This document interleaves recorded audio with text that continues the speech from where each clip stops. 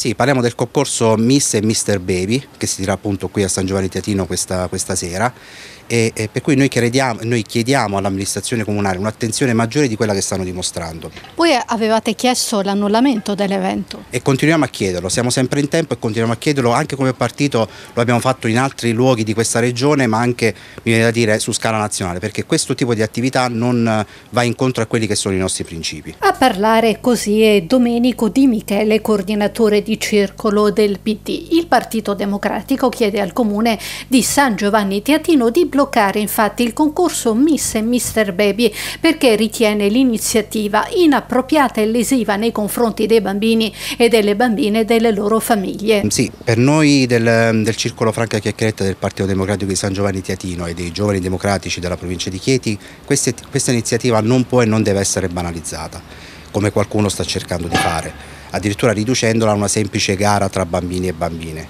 Eh, la stessa comunità scientifica eh, in ambito psicologico, e mi riferisco ad esempio all'American Psychological Association, eh, condanna fermamente questo tipo di iniziative e questi eventi perché attraverso le loro ricerche e i risultati di queste ricerche si è dimostrato come queste attività e l'oggettivazione del corpo vadano a incidere negativamente su quelle che sono ehm, diciamo, l'autostima o comunque tutti quegli aspetti che ruotano attorno alla costruzione di un'identità di un individuo, a maggior ragione se parliamo di bambine e bambini. Il PD parla chiaro e forte di mercificazione del corpo, soprattutto di quello dei bambini, insomma la polemica sale in passerella baby. Per noi l'oggettivazione del corpo, ma anche eh, rendere la bellezza ehm, insieme alla complessità di un individuo in un'iniziativa di questo tipo non è altro che mercificazione del corpo.